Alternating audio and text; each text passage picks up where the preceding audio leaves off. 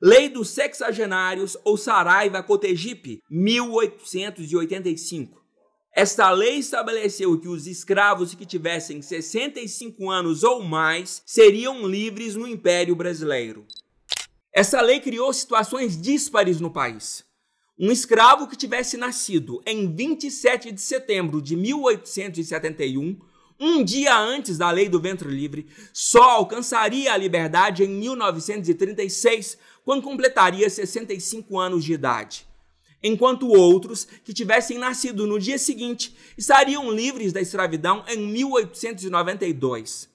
Ou seja, um dia de diferença no nascimento poderia representar 44 anos a mais de vida na condição de escravo.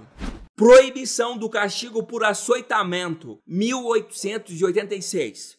Nessa data, o parlamento brasileiro retirou dos proprietários de escravos um dos mais importantes símbolos da autoridade senhorial. Ou seja, não era mais permitido castigar os escravos com o uso do chicote no Brasil.